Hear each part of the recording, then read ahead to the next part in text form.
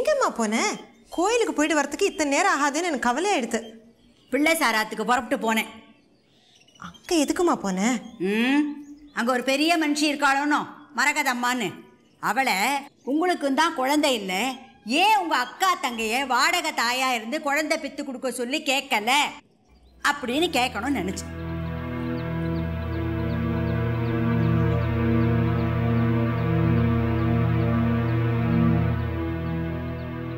இருந்தாலும் நீ எதுக்குமா அங்க? ஏன் ஏன்? பிள்ளை சார்கிட்ட போய் உங்கள் பிள்ளைக்கும் கல்யாணம் பண்ணு. நான் என் பிள்ளைக்கும் கல்யாணம் பண்ணேன் என் மாட்டு பொண்ணுக்கிட்ட குறை இருந்து உங்கள் மாட்டு பொண்ணு குழந்தை பெற்று கொடுக்குற தகுதி இருந்து முதல் வாரிசை உங்களுக்கு பெற்று கொடுக்காம எங்களுக்கு வாடகை தாயா இருந்து குழந்தை பெற்று கொடுக்கணும் நான் கேட்டா நீங்கள் சந்தோஷமா சம்மதிப்பேளா மாட்டேளா? அப்படின்னு நான் கேட்கணும்னு நினைச்சேன்.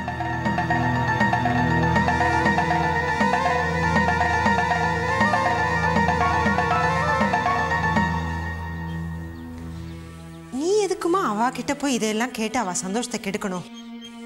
நன்னா இருக்கே. அவ மட்டும் என் மாட்டு பொண்ணுகிட்ட எங்களுக்கு ஒரு வாரிசு பெத்து கொடு அப்படின்னு கேட்கலாம்.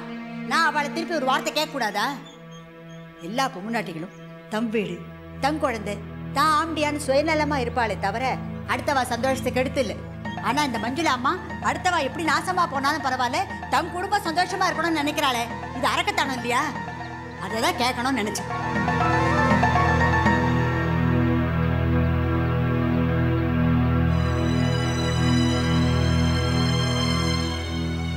நல்ல வேளை. வினோதினி கிட்ட எதுவும் கேட்காம விட்டியே அவகிட்ட கேட்டு என்னடி பிரயோஜனம்? அந்த பொண்ணு அங்கே திட்டினா இங்கே அழும் இங்கே திட்டினா அங்கே போய் அழும் அந்த ராகுலை பார்த்து தான் ஏண்டாப்பா பொண்டாட்டியை பிறந்தாத்துக்கு அனுப்பிச்சாக்கா சீர் கொண்டா பணத்தை கொண்டா அத்தை கொண்டா இத்தை கொண்டான்னு தான் கேட்பா ஆனா அதிசயமா பிறந்தாத்துலேருந்து கர்ப்பப்பை வாங்கிட்டு வான்னு சொல்ற முதல் ஆம்பளை நீதான். அப்படின்னு கேட்கணும்னு நினைச்சேன்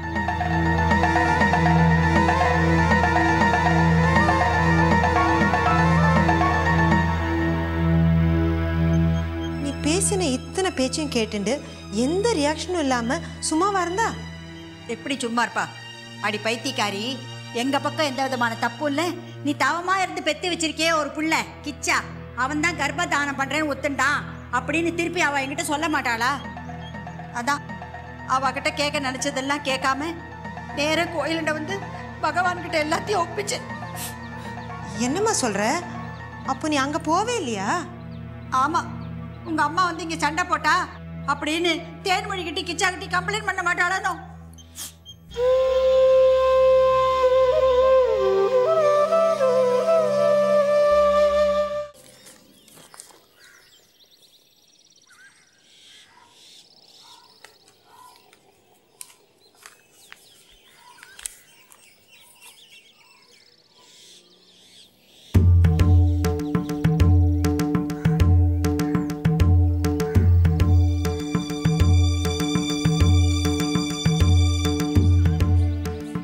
சரசு இங்க வாடி. என்னடா பாலிய சுந்தரிய பக்கத்தாத்துக்காரிட்ட போய் ஏதோ பேசிட்டு இருக்கா. நம்ம மாத்த சமாச்சாரத்தில் என்னெல்லாம் அவங்ககிட்ட போய் சொல்லி தொலைச்சாலும் எதுக்கு நீ அவனுக்கு இந்த வம்பு? நீங்க மட்டும் அந்தாத்த சமாச்சாரத்தை சுந்தரி கிட்ட கேட்டு தெரிஞ்சுக்கலாமா? அது என் சாமர்த்தியம்டி அடுத்தாத்துக்காரியும் அதே சாமர்த்தியமா தான் இருப்பா. கேட்கறவா கேட்டா சொல்றவா சொல்லித்தான் ஆகணும். சரி சரி. அவளை கூப்பிட்டு கண்டிச்சு வை தெரியுதா? கத்துறேன் போங்க உள்ள நான் கேட்கிறேன் இதுல ஒன்றும் குறைச்சல்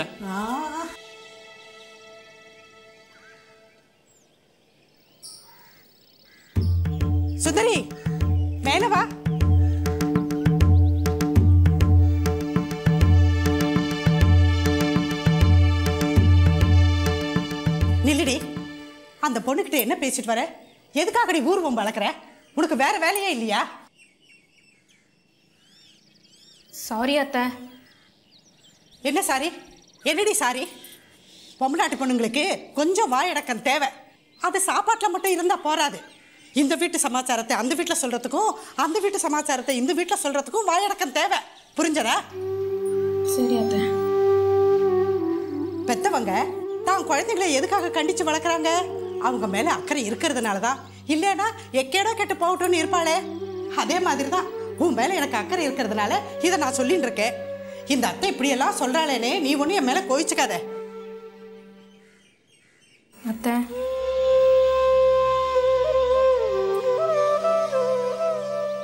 என்னடி ஐஸ் காஃபியை கொடுத்து நைஸ் பண்ணுறியா இதை பாரு இனிமே இந்த ஆத்துக்கு வந்தீங்கன்னா எங்களை எல்லாம் பார்த்தோமோ போனோமோன்னு இருக்கணும். அத்திம்பேர்கிட்ட ஊர்வமெல்லாம் அளந்துன்னு இருக்காத. அந்த அர்த்த சமாச்சாரத்தை இங்கேயும் இந்த அர்த்த சமாச்சாரத்தை அங்கேயும் சொல்ற வேலை வச்சுக்காத. இப்படி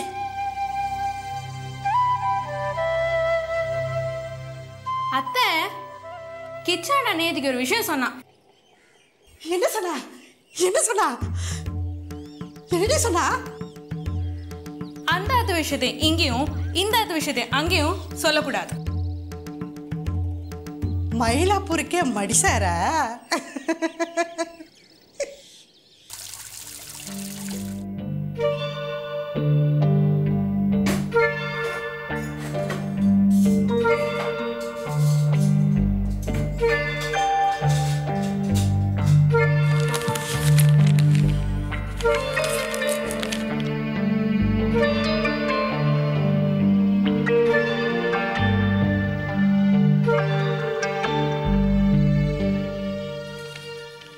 ஏன் இளவரசி?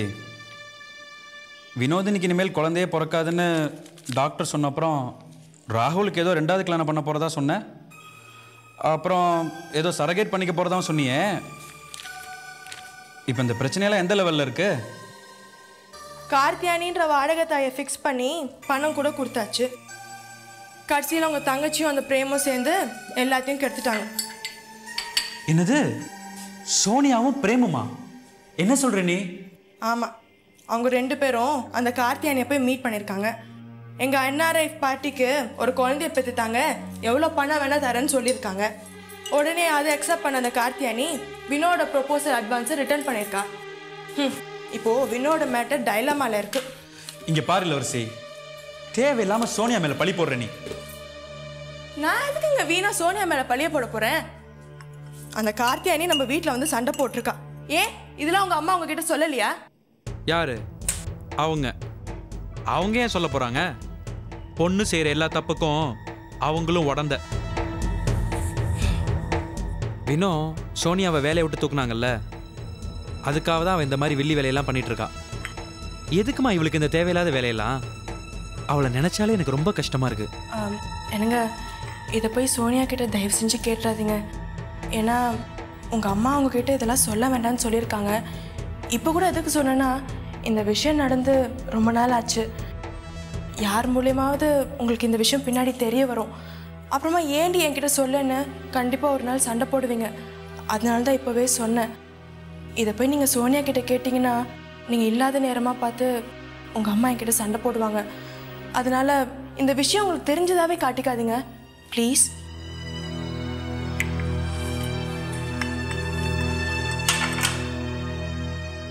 ச்சே.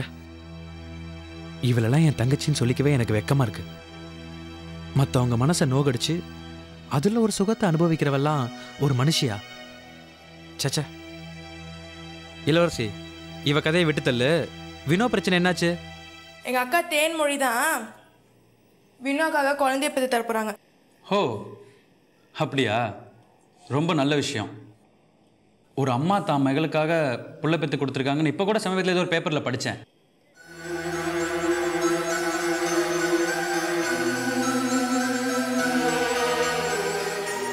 ஆனால் அது இப்போ நம்ம குடும்பத்திலே நடக்கும்போது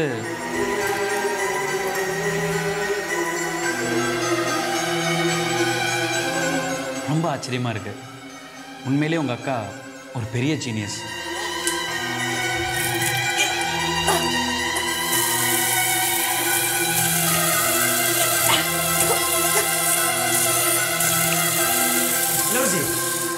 என்னமாச்சு என்ன திடீர்னு வாந்தி எடுக்கிற? என்ன சாப்பிட்ட நீ வாந்தி எடுக்கிற அளவுக்கு? ஒன்றும் இல்லைங்க. ரெண்டு நாளாக இப்படி தான் இருக்குது உனக்கு இதெல்லாம் ஒன்றும் தெரியாது. நீ சின்ன பொண்ணு. நீ வா நம்ம அம்மாட்ட ஒன்று கேட்போம். அம்மா! என்னங்க? மா என்ன ஆச்சுடா உங்க அம்மாவுக்கு? ஏன் இப்படி கத்துற? இளவரசி வாந்தி எடுக்கிறா. என்னன்னு பாருங்கம்மா. ஓஹோ அவங்க இங்க வர மாட்டாங்களோ அம்மா ப்ளீஸ்மா கொஞ்சம் அங்கே போய் பாருங்கம்மா.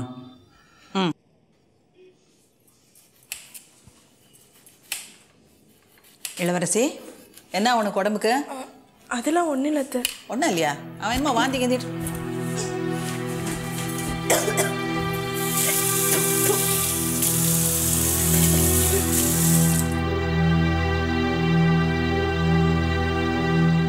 என்னம்மா என்ன பண்ணுது?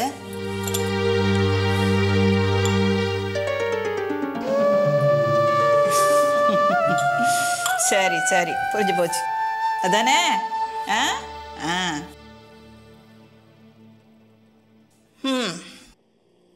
எங்க வினோதினி மாதிரி மொட்டை மரமா இருப்பாளோன்னு நினைச்சேன். பரவாயில்ல ரொம்ப சந்தோஷமா இருக்கு. என்னம்மா சொல்றீங்க? எனக்கு ஒண்ணுமே புரியல. டேய் டாக்டர் கிட்ட கொண்டு போய் காட்டுறா. அம்மா என்னம்மாச்சு அவளுக்கு? ஒன்றும் இல்லை. லேடி டாக்டர் கிட்ட கொண்டு போய் காட்டி என்னன்னு கன்ஃபார்ம் பண்ணிக்க.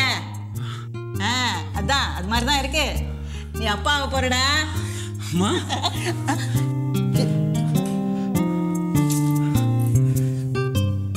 கள்ளி. எவ்வ- எவ்வளவு சந்தோஷமான விஷயம் தெரியுமா? ஆமா இதே நீ முதல்ல என்கிட்ட சொல்ல.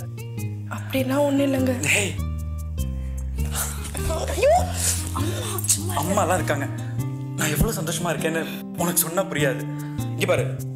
ஆம்பளை புள்ள சிங்கக்குட்டி மாதிரி என்ன மாதிரி? இப்பவே இந்த விஷயத்த போய் என் ஃப்ரெண்ட்ஸ்ட்ட எல்லாத்தையும் சொல்லிட்டு வரேன்?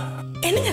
என்னம்மா? ஏதா வேணுமா? இல்லை இப்போவே சொல்லணுமா? கண்டிப்பா இப்பவே எல்லாத்தையும் சொல்லி ஆகணும். இரு வந்துடுறேன்.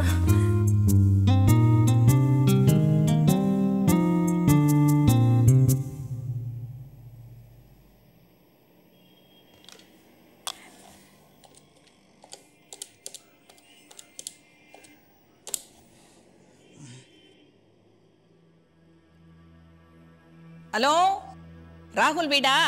நான் இளவரசியோட மாமியார் சிவகாமி பே ஏன் இப்போ ஃபோன் கட் பண்ண? எதுக்காக வினோ வீட்டுக்கு ஃபோன் பண்ணுறீங்க ஆ? என் மருமக உண்டா இருக்கான்னு நல்ல செய்தி சொல்றதுக்கு தான். எதுக்கு? வினோவால் குழந்தை பெற்று தர முடியாதுன்னு குத்தி காட்டுறதுக்காகவா இங்க பாருங்க அத்தை.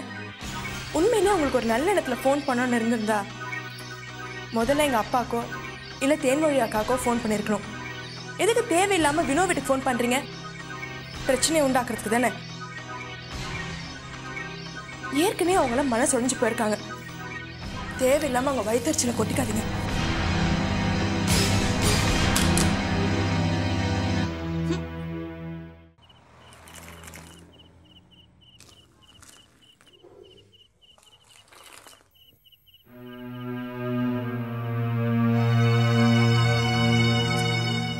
பாவம் சாரதா மேடம். என்னை பார்க்க வந்தவங்க கிரெடிட் கார்டை எங்கேயோ தொலைச்சிட்டாங்க. அந்த கார்டை எடுத்தவங்க இருபத்தையாயிரம் ரூபாய்க்கு நகையும் இருபதாயிரம் ரூபாய்க்கு துணியும் பர்ச்சேஸ் பண்ணியிருக்காங்க. பாவம். இப்போ நாற்பத்தஞ்சாயிரம் ரூபாய் அவங்க தான் கட்டணும். போதும் போதும். அடுத்த வழக்காக கவலைப்படுறதை நிறுத்திட்டு ஆத்துல நான் ஒருத்தி குத்து கலாட்டா இருக்கேன். எனக்காக கொஞ்சம் கவலைப்படுங்க. பாவம். ஸ்டாப் பர்ச்சேஸ் ஆர்டரும் அவங்க செல்லில் வந்துருச்சு. என்ன பண்ணுறதுன்னு தெரியாமல் என்கிட்ட அழுதாங்க. நீங்கள் வேணால் காலேஜில் லோன் போடுங்க. உங்களுக்கு நான் சூரிட்டி போகிறேன்னு அவங்ககிட்ட சொல்லியிருக்கேன்.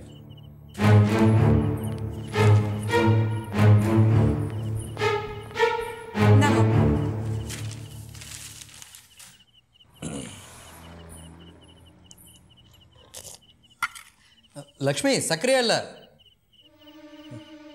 நீ என்னைக்கு பதில் சொல்லியிருக்க?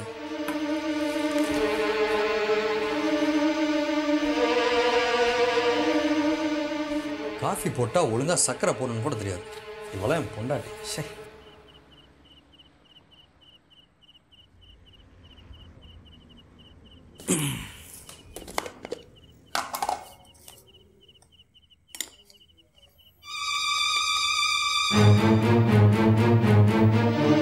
என்னடி இது?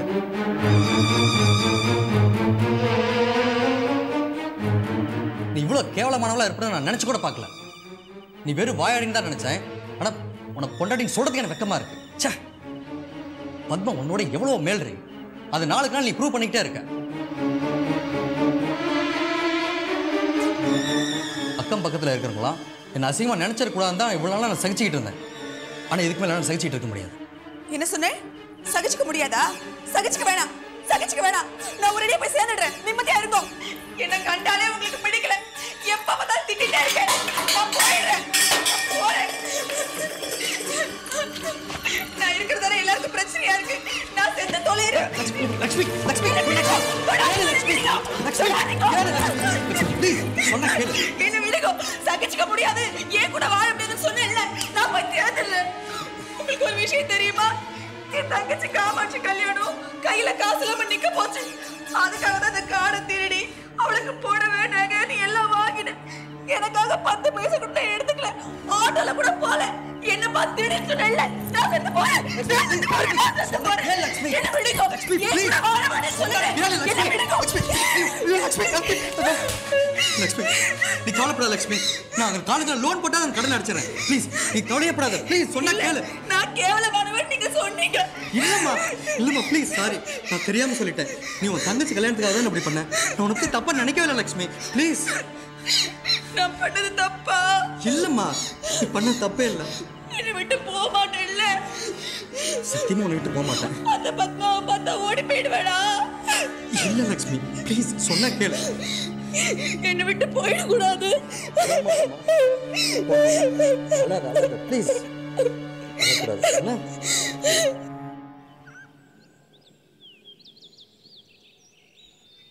தேன்மொழியை நினச்சா எனக்கு ரொம்ப ஆச்சரியமாக இருக்கு. தான் வீடு தான் புருஷன் தான் குழந்தைகள்னு இருக்க பெண்களுக்கு மத்தியில் தான் தங்கச்சி சந்தோஷத்துக்காக தன் வாழ்க்கையை பணைய வச்சு ஒரு நல்ல முடிவு எடுத்திருக்கா. என் பேரனை சுமக்கிறாங்கிறதுக்காக நான் இதை சொல்ல வரல. யாராக இருந்தாலும் பெண்மொழியோட முடிவை கேட்டால் ஆச்சரியப்படுவாங்க. அவ சின்ன வயசுலேருந்தே அப்படிதாம்மா. யாருக்குமே தொந்தரவு கொடுக்க மாட்டா. முடிஞ்ச வரைக்கும் அடுத்தவங்களுக்கு உதவியா இருப்பா. இதே வினோதினி சின்ன குழந்தையா இருக்கிறப்போ ஒரு நிமிஷம் கூட அவளை கீழே விடவே மாட்டா. இடுப்புலையே தூக்கி வச்சுக்கிட்டு அலைவா. அன்னைக்கு உன்னை சுமந்து இன்னைக்கு உன் குழந்தைய சுமக்கிறா உங்க அக்கா.